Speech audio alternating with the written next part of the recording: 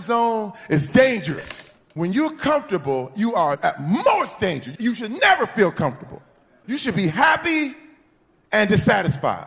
Anybody ever tell you, hey, look, you know what? Just be satisfied with what you got. Don't believe them. Get them away from you. That's good. You should never be satisfied with what you got. Because the attempt to get more makes you into something better all the time.